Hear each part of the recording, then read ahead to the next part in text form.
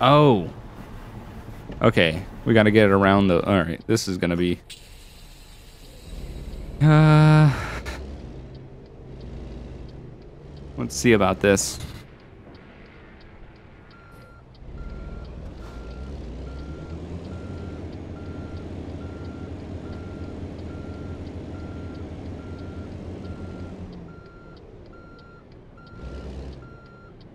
Nope.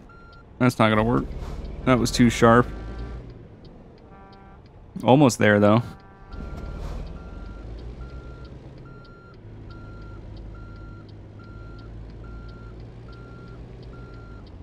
Mm, nope. Don't think we're gonna make that.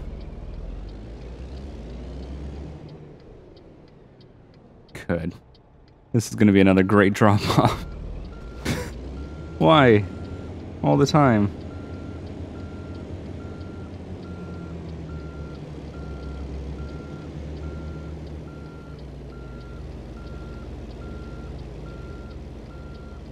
Did I somehow just manage to like completely own that turn in? That was amazing. Sure, the trailer's not straight at all, and I'm to need to straighten it, and I have no room, but hell.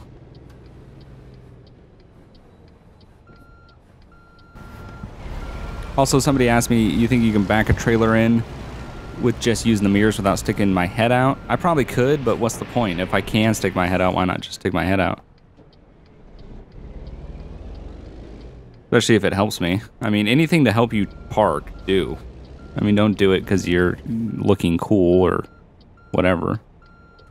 I remember, it's kind of a stupid story, but when I was getting my driver's license, um, obviously, you, when you're going for your driver's test, you have some random person sitting in the passenger seat of your car that you've never seen before. And uh, there was a portion, uh, I am fucking this right up. I have lost all my ability to be able to like park trailers in places. I'm just to pull all the way out. We're to do it again, which I know is probably not the greatest idea, but I feel like I can line it up a little better by turning in this way. But yeah, so I was going to get my driver's test. It was the portion where they made you reverse to see if you knew how to reverse. And um, I didn't know the person that was sitting next to me, obviously, because you're in a driver's test. It's some random person from the DMV. Um, so I didn't put my arm around the passenger seat. Just because I was like, you know what? No. I'm not going to make it awkward for this person. Oh, God. Getting to the point. It's getting to the point where I'm missing that day cab. Day cab might come back. Because this is getting a little ridiculous.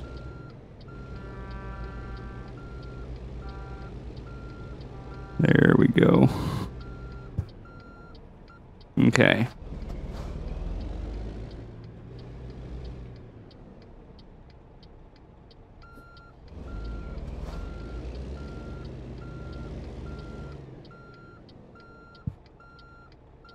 There we go.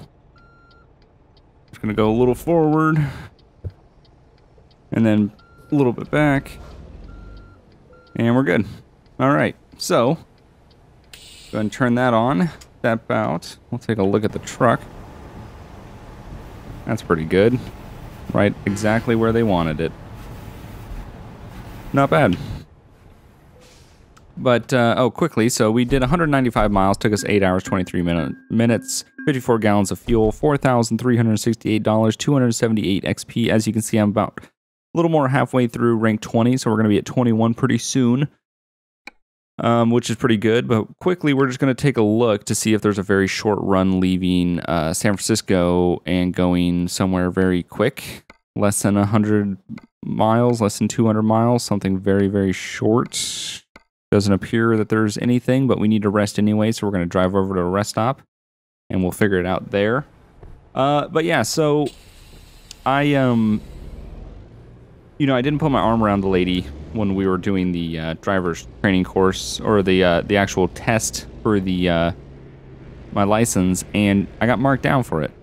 And I thought, okay, so I understand they say that that position is supposed to help you be able to move your head without straining it, seeing all the positions and everything. But if I can still look behind me and I can still check my mirrors. Does it really matter if I am straining my neck and I if I don't have my arm around the passenger seat? Like, is that something that is absolutely necessary? Because it just doesn't seem like it should be. It doesn't seem like it's a thing that should be necessary to do. Um, that's just me. I don't know. But I also got marked down um, for taking corners too quickly, is what she said. She said, try not to take corners so quickly. Um, yeah. and then I bought a Miata, so lol. Taking corners too quickly in a Miata is the only thing that you should do with one. All right, so anyway, we're just going to quickly rest here, and uh, we'll see what happens if there's a load, a very short load leaving San Francisco, because we don't have much time. That parking spot took gave us a good amount of, lost a good amount of time there. Uh, San Francisco to San Francisco, we could just do that one. Um, I think we might have to, to be 100% honest. Yeah, we're going to have to do that.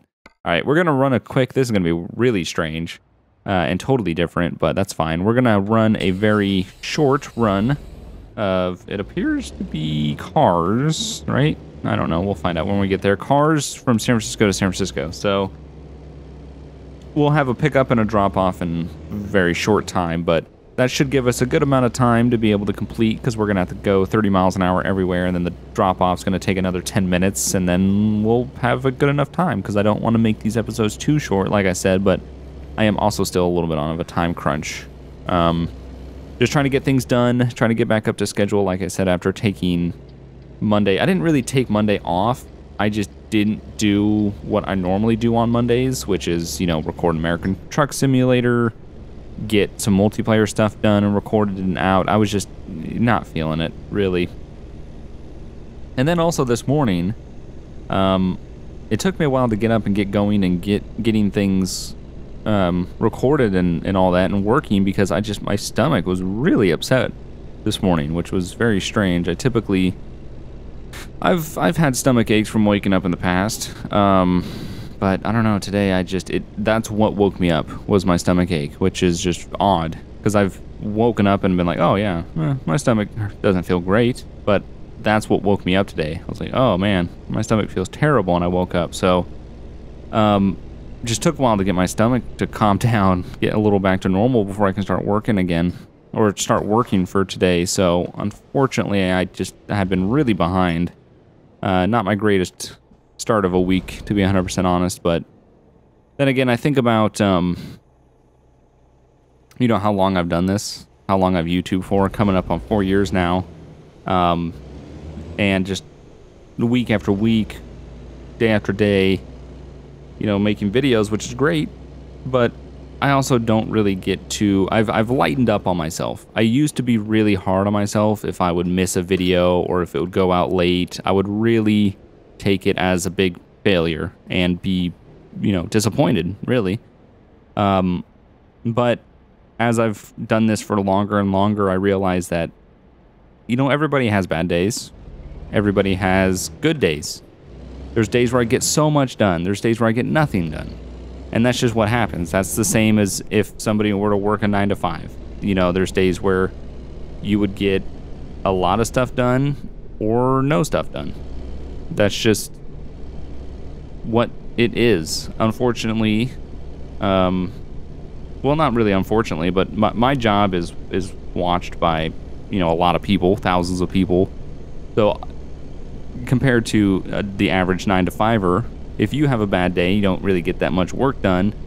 Well, you didn't have 10,000 people plus, you know, watching, waiting, seeing what's going on. I just feel really bad because if I don't get, if I'm not in a mood to get work done, or for whatever reason work doesn't get done, or videos go late, or videos don't go out at all, like I said, I'm not as hard as on myself as I was before. I still don't like doing it. It's still not very enjoyable. I really like, I want to be able to get videos out because I know there's a lot of people out there that count on my videos going out. Um, but it just means that sometimes you get in the situation where you have to record when you don't feel like recording, um, which isn't always the best. You know, I definitely would prefer to hold off and record when I felt uh, better, but all I do is if I'm just not in the moment to record, I know I need to record something for that day, typically I'm a day ahead, so it's not that big of a deal. I'll wait a little bit, see if I can feel a little better later. Um, oh, okay. So that trip expired from San Francisco to San Francisco. Good. The time it took us to drive down the street. Well, that's actually super annoying, to be 100% honest with you. Uh, oh, God, okay. Yep, we're just going to take this to San Francisco then, or to Sacramento. I don't know how this is going to work. We're 35 minutes into this recording session. Um, I don't know. I'll figure it out. We're just going to do this run to San Francisco and I'll figure it out. Unfortunately, it's getting hotter and hotter in here. I feel like the air conditioner has turned off, which is not good because now it is climbing dramatically. Um, I think in the past about 20 minutes has climbed six degrees. I'm not even kidding you. Um, which is a little bit ridiculous. I mean, come on. That is a little insane. Uh, but yeah, so you just get in those situations where you just don't really feel like recording, which, like I said, I'm typically a day ahead, so I just kind of relax uh, for a little bit longer until I get in the mindset to record. Then I record them, it's no problems. Uh, there are the other times, though, where it's just I don't have the luxury of waiting, so I just have to do it. And it's just one of those things where, compared to a normal 9 to 5, if you have a bad day or an off day or just not feeling 100%, you're just, it's, you're watched by thousands of people um, compared to a nine to five where you might have a boss or a supervisor or a coworker might notice that you haven't done a certain thing, but that's pretty much the extent of it. Like three people might notice. Uh, not that you can get away with not working, and it's not that I can't just get away with not doing a video. There's, trust me, there's times where I've been like, I just can't do it. Just can't do it right now. Just cannot record not putting a video out. And I've done that many times in the past. I have just said, hey, can't do it. Sorry. It's just not going to happen. Um, but with uh, with yesterday, I just I just could I really wasn't feeling it. I really wasn't feeling it. I, I knew I had to record. I knew I had to get stuff done. And it was one of those things where I was just going to wait a little bit more time, give it a couple more hours, and and uh, I just got to the point where it was just too late, and then I just got exhausted and just was like, you know, I, I'm just I'm not fit to record right now. So that's why today has kind of been the made the, the big rush to get up and get going and get things working again. So um it sucks, like I said. I'm not I, I don't like when I don't get videos out. Um not as hard on, on myself as I used to be, but uh, it's still not enjoyable missing videos. It's just one of those things that you just kind of like look back and go, man. Especially because I have a whiteboard. Come on, dude. I have a whiteboard calendar. Um, so I write down all my videos that I have uploaded and ready to go and stuff. And it just makes it, it makes it easier to know what videos are going out on what day, what gaps I have, you know, what I need to get done. It just helps me kind of stay a little more organized. Well, the one thing that really sucks is looking up at that whiteboard and not seeing and seeing a gap, seeing a hole of a video that wasn't uploaded on one day or, you know, missed a full day or whatever the case may be. Just any sort of hole where there's a video that should have gone out that hasn't. It just sucks looking up and seeing that and going, well, that's that could have been avoided. But like I said, I've been doing this for a long time. I think I'm getting to the point now where I almost have 2,000 videos on YouTube. Last time I checked, I think I had like 1,800 and something.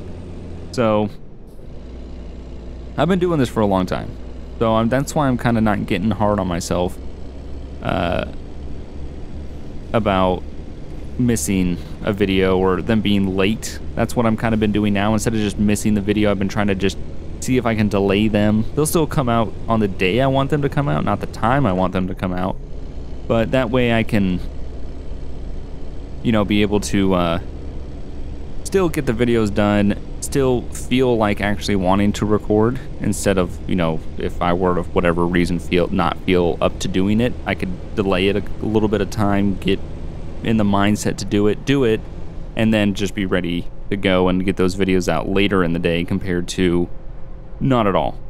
So that's kind of what I've been doing. It's just trying to get them out eventually um, in that day. If I can't make it that day, and if I know there's no way I'm going to make it, then I just will call it and say no, it's just not going to happen. But yeah, just one of those things. Um, you know, it happens to the best of us, unfortunately. There's just days where you're just not up to it. And I think summer is one of those times where the heat just, like I said, the heat makes me extremely tired. The heat drains me with my energy. And when you're low on energy, you don't really want to record. Um, not that summer's going to like ruin me or anything, but just, you know, I just, I am not looking forward to it, is what I'm saying. Because I know I'm going to be tired. I know I'm going to be low on energy. And I'm not a very high energy person in the first place. So to have a low energy person low on energy, yeah. But, you know, like I said, I'm not I'm not too worried about it. As long as I can get the videos out on the date that I wanted to get them that out, I'll be happy. Sure, it's not ideal. I'd rather get them out at the times that they're supposed to be out, but it happens. It's just statistically impossible to be able to get every single for how many videos that I've done, for how long that I've done it. It's just it's statistically impossible to have gotten every single video. Like there's no way I could have YouTube for 4 years straight and had done two videos a day every single day, Monday through Friday, and then two videos on weekends. And there was a point in time, a long point in time actually, about two and a half years, almost three years. Actually, no, I think about three years where I was doing two videos a day every single day, weekends included. You know, I was doing 14 videos a week.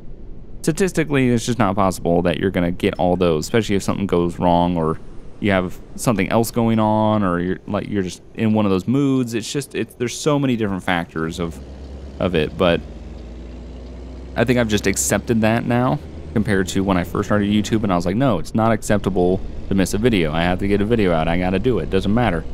Um and if i were to miss it i would just feel real bad and just like demotivated not wanting to do anything.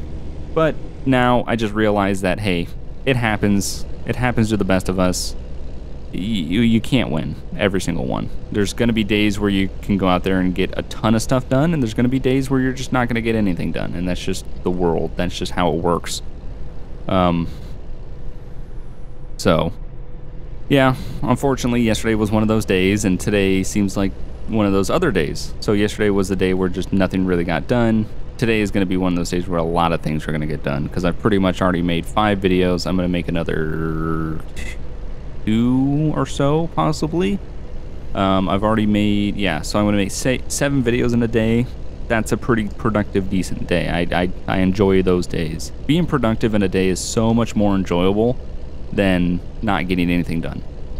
And trust me when I say, like, just because I don't feel like recording, it doesn't mean that I'm, like, you know, loving everything and I'm, like, watching Netflix and chilling and, like, yeah, sure, whatever. You know, like, no, it's I'm trying to get mentally prepared to change my mindset to be able to feel up to recording if it's that bad to the point of I just really do not feel like absolutely doing it.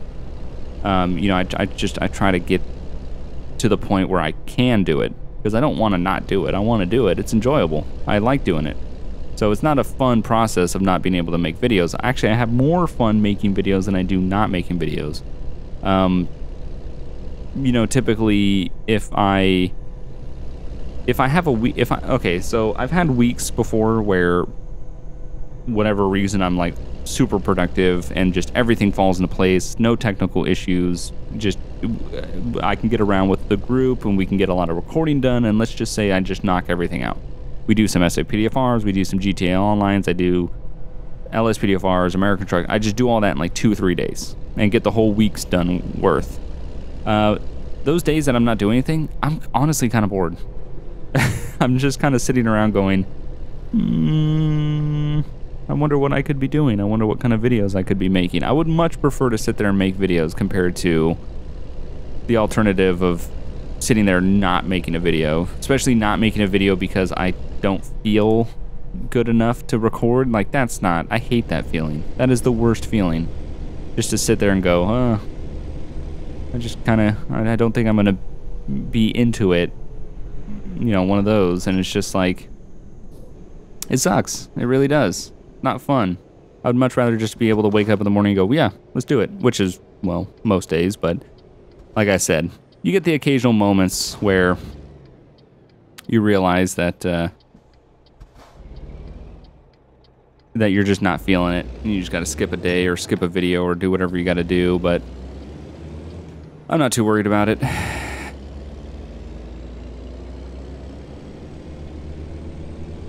All right, so we're pulling into Sacramento, finally, after that totally just random nonsense jargon that I was spitting out there about, you know, making videos and whatnot. Um, we need to drop off at MHA Service, which I'm assuming is going to be a uh, truck service place. So the drop off might be a pain in the ass. Uh, I don't think this trailer, this trailer is a little bit long but I don't think it's like anything crazy. So.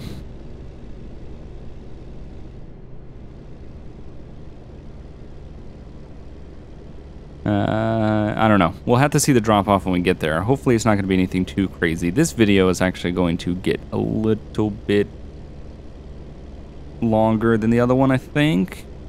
If I can, yeah, maybe. Going to be a, a, a, yeah, I don't know. We'll see. We'll see how it turns out in editing. editing. I didn't want to go for long because, like I said, I'm strapped for time. I I need to get this uh, the first video edited and coded out and everything and done and uploaded so it's it's viewable for today. Otherwise, you guys won't get an American Truck Sim today, which would be very unfortunate. So I didn't want to go for a long time, but here I am, 45 minutes later. Just pretty much a standard uh, American Truck Sim recording later. Okay, let's see where they want this thing. Please don't be in that back corner. It is going to be in that back corner, isn't it? Yeah, it's that back corner. Okay, so... Um... Maybe I can turn around in here. Oh, God, this is just going to be a fucking mess. Yeah, they want it right there in front of that door, just like the other one. I see some comments from you guys too about how there's actually a lot of people out there that dislike the MHA uh, map mods uh, drop off uh, things, and I will agree. I got to admit, um, with standard American Truck Simulator, uh, the drop off points weren't bad. I really didn't mind them. They were they had enough their challenge to them that they were satisfying, but they uh, they also kept it realistic and it, it wasn't absurd to be able to get something done. I feel like, uh, oh god, that was very close to hitting that pole. Um, yeah, MHA definitely adds a whole nother aspect of, of parking trailers in weird spots, and I don't know 100% honest if it's a needed aspect. Um, there's just, I just don't, yeah. Like this. This just doesn't make sense to me. It is such in the most ridiculous spot. I'm not even... I, I don't have enough room to turn the truck around. Well, okay. So I don't have enough room to flip the load to make it go around as a this way as I'm turning it right now. I don't really have enough room to do that because they want it in such a weird spot. God, this is all... my, Hold on, I'm getting out. I'm looking at the, my mess here. How do they want me to do that? Because if I'm to... Mm -hmm, okay. This is getting aggravating. It also doesn't help that it's now 70 seven degrees in here.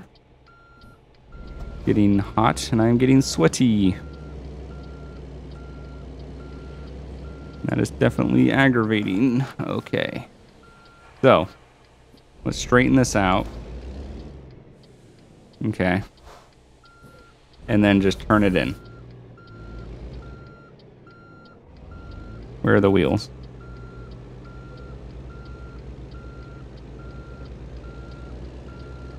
Okay.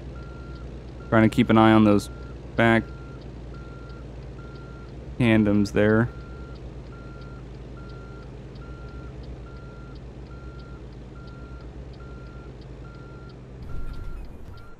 All right, let's try to straighten out.